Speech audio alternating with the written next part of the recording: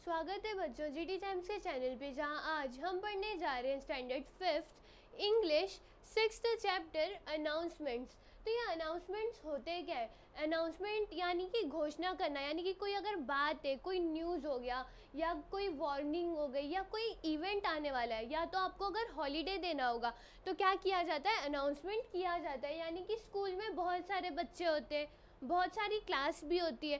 तो टीचर हर एक क्लास में ऐसे जा जाके बताते हुए थोड़ी ना रहेगी, आज ये होने वाला है, कल छुट्टी है। तो उसके लिए क्या बनाया गया? अनाउंसमेंट्स बनाया गया और ये जो न्यूज़ होता है, ये किधर लगा रहेगा? तो ये जो स्कूल का और कॉलेज का जो भी नोटिस बोर्ड होता है, वहाँ पे अनाउंसमेंट ऐसे पिनअप करके लगे हुए होते हैं। जैसे कि हमें यहाँ पे टेक्स्ट में ही दिख रहा है। तो यहाँ पे क्या लिखा गया? पहले यहाँ पे क्या करते हैं? पहले वो लोग लिखते हैं डेट तो यहाँ पे लिखा गया सिक्स जुलाई 2015 फिर बोला गया it has been observe by the head boy and head girl that certain classes do not clean up their classrooms before leaving if any class is found untidy and littered after school, that class will be detained the next day after school hours up to 4 pm please take note of this जैसे कि हमने देखा था कि announcements किसके लिए होते हैं? पहले ही हमने देखा था कि वो वार्निंग्स के लिए होते हैं, यानी कि जो हेड बॉय और हेड गर्ल है, उन्होंने जाके प्रिंसिपल को बताया होगा कि कुछ ना क्लास है वहाँ के, बच्चे क्या करते हैं? अपने क्लास को साफ़ नहीं रखते। क्या करते वो लोग वहाँ पर गंदगी फैलाते तो जो प्रिंसिपल है, उन्होंने क्या? उन्होंने नोटिस दिया है अनाउंसमेंट किया है कि अगर कोई भी क्लास स्कूल के बाद अगर साफ़ नहीं दिखी तो वो क्या करेंगे? वो उस स्कूल को रुका के रखेंगे स्कूल आवर्स के बाद तक भी। और सबको क्या करना है? सबको अपना क्लास जो है साफ़ रखना है। और किसी ने, और क्या बोला है? Please take note of this यानी कि इसका ध्यान रखो। उन्होंने क्या किया? एक अनाउंसमेंट कर दिया। तो इससे क्या पता चलेगा? इससे जो बच्चे होंगे, जब वो नोटिस बोर्ड के पास से जाएँगे तो क्या कर सकते हैं? इसको पढ़ सकते हैं। इसको पढ़ने के बाद वो क्या करेंगे? अपने क्लास को साफ़ सुथरा रख सकते हैं। यानी कि जो भी क्लास गंदी थी वो बच्चे क्या करेंगे? अपने क्लास को अच्छे से रखेंगे। अब यही यही जो नोटिस है जो न्यूज़ है, अगर हमें किसी को देना होता, यानी कि हर एक क्लासरूम में जाना होता, उससे क्या होता है? डिस्टर्ब होते हैं। बीच में कोई आता है नोटिस लेके बोलता है तो क्या होता है? डिस्टर्ब होता है। फिर टाइम भी हमारा क्या होता है? थोड़ा ख़त्म होता है। और इससे क्या होगा? इससे आपको बस नोटिस बोर्ड पे पढ़ना है और आपको पता चल जाएगा। फिर दूसरा एग्ज़ाम्पल है। Tomorrow date is on 10th of July, school will be closed an hour earlier as the teacher have to attend an important PTA meeting. So, please inform your parents to arrange to pick you up at 2 pm instead of 3 pm.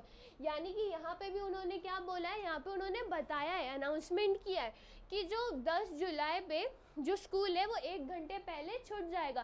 तो आपको क्या करना है? आपके parents को बोलना है कि आप क्या दो बजे आओ, तीन बजे मत आना। तो ये भी क्या हो गया? ये भी एक अनाउंसमेंट हो गया। उन्होंने सीधे सीधे नोटिस बोर्ड पे लगा दिया। आपको पढ़ना है, घर पे जाके बताना है। यानी कि जो नो, जो नोटिस नोटिस क्या आता है यहाँ पे? नोटिस था कि स्कूल जल्दी क्या हो जाएगा? बंद हो जाएगा। और यही बताने के लिए उन्होंने क्या कर दिया? नोटिस बोर्ड पे लगा दिया। अगर वो स्कूल आवर्स में जाती तो इससे क्या होता? थोड़ा थोड़ा टाइम क्या होता? वो ख़त्म होता। और उस थोड़े टाइम में हम क्या कर सकते थे? एक्स्ट्रा पढ़ाई कर सकते थे।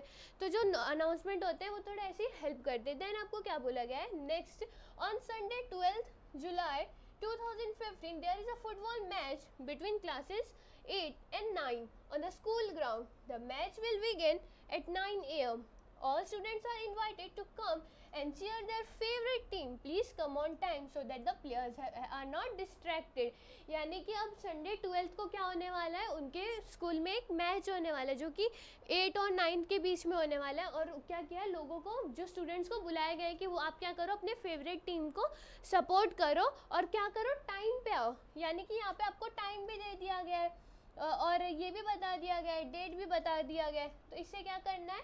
इससे उनको पता चल गया कि ये टाइम पे आना है।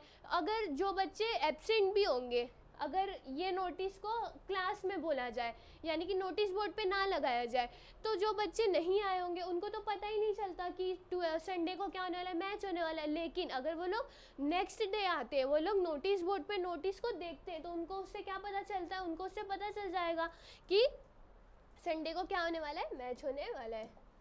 देन नेक्स्ट एग्ज़ाम्पल है the school has organize a story telling competition for classes fifth six and seven from twenty first to twenty fifth of July the competition will be held in the school hall at ten in the morning children may select a fable a folk tale a fairy tale a true story a funny story There, the three prizes will be given for each category. The time limit is 3-5 minutes. Those who wish to participate may contact Mrs. Sanjana Moite for other details. They must register their names with uh, her best before the 16th of July. Yani ki जो बच्चे अभी school में क्या हुआ है competition लगाया गया है तो उन्होंने कंपटीशन का डिटेल दिया, यानी कि यहाँ पे हम एक अनाउंसमेंट लिखेंगे, कैसे उसका आइडिया मिला है। तो हम कैसे लिखते हैं? हम जिस चीज़ का अनाउंसमेंट करने वाले हम वो लिखेंगे, फिर डेट लिखेंगे टाइम लिखेंगे, यानी कि कब होने वाला है। क्योंकि जो अनाउंसमेंट होता है, वो हम पहले ही लगा देते हैं, यानी कि अगर यहाँ पे ये ट्वेंटी फाइव को होने वाला है तो हम लोग नोटिस बोर्ड पर ये अनाउंसमेंट कब लगा देंगे? तो उसको हम कब लगा देंगे? उसको हम लगा देंगे फिफ्टीन को। तो जो बच्चे, उनको पहले से ही पता चल जाएगा कि ट्वेंटी फ़र्स्ट से ट्वेंटी फाइव को क्या कुछ तो होने वाला है। और उससे वो क्या हो सकते हैं? वो लोग रेडी हो सकते हैं, खुद को तैयार कर सकते हैं स्टोरीज ढूंढ सकते हैं। और इससे उनको पूरी इन्फॉर्मेशन मिल जाती है। और फिर भी अगर उनको और डिटेल्स चाहिए, यानी कि अगर इन इन डिटेल से नहीं कुछ हो रहा है तो वो क्या कर सकते हैं, जो यहाँ पे इंचार्ज है, उनसे क्या कर सकते हैं, मिल सकते तो यहाँ पे हमने एक और अनाउंसमेंट का क्या देगा एग्ज़ाम्पल देगा। देन यहाँ पे बोला गया construction work to extend the school building will start next week. All students are cautioned not to cross over the fence at the construction site. It is dangerous and may cause you injury, may cause you injury. Please stay away from that fence यानी कि अब यहाँ पे construction work होने वाला है। तो उधर क्या अनाउंसमेंट किया है कि क्या करना है आपको? उस उस जगह से दूर रहना है। यहाँ की, यहाँ पे आपको वार्निंग दी गई है।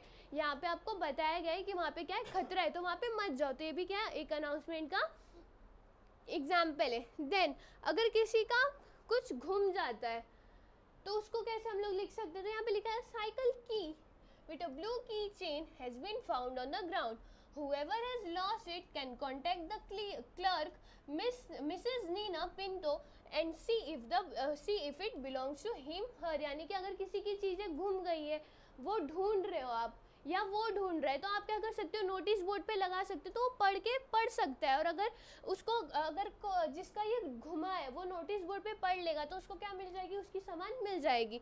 देन आपको यहाँ पे एक्सरसाइज में क्या बोला गया? Choose a suitable heading for each announcement for those given below यानी कि आपको क्या बोला है कि आपको क्या करना है? सुटेबल हेडिंग ढूंढना है। किसके लिए? जो ये अनाउंसमेंट दिए गए, उसके लिए। तो चेंज इन स्कूल आवर यानी कि स्कूल आवर चेंज होने वाले। तो यहाँ पे आपको दिया गया एग्ज़ाम्पल तो आप क्या कर सकते हो? यहाँ से इनका इस अनाउंसमेंट का रेफरेंस ले सकते हो उसको लिखने के लिए। नेक्स्ट आपको और भी दिए गए तो आप क्या कर सकते हो, जो ऊपर रेफरेंस दिए गए उनको यूज़ करके बना सकते हो। फिर आपको बोला गया present any one of this announcement yourself orally यानी कि इनमें से जो भी आपको पसंद है, आपको क्या करना है? उनका अनाउंसमेंट बनाना है। और क्या करो, आप उसको प्रेजेंट करो। यानी कि किसी को दिखाओ। ओरली यानी कि मुँह से बोल के दिखाओ। आपको नोटबुक में लिखने की ज़रूरत नहीं है। और फिर आपको ग्रुप वर्क दिया गया, यानी कि जो अनाउंसमेंट बनाने के लिए। फिर यहाँ पे आपको इस सुटेबल हेडिंग एक वार्निंग के लिए भी बोला गया, यानी कि जो वार्निंग मिल रहा है, उसका क्या करो आप, एक हेडिंग बना दो। तो इसमें, इस चैप्टर में हमने क्या देखा? अनाउंसमेंट अनाउंसमेंट्स को लिखा कैसे जाता है, फिर अनाउंसमेंट्स में होता क्या है, और उसको कहाँ लगाया जाता है। होप आपको ये वीडियो समझी होगी। तब तक के लिए मिलते हैं नेक्स्ट वीडियो में।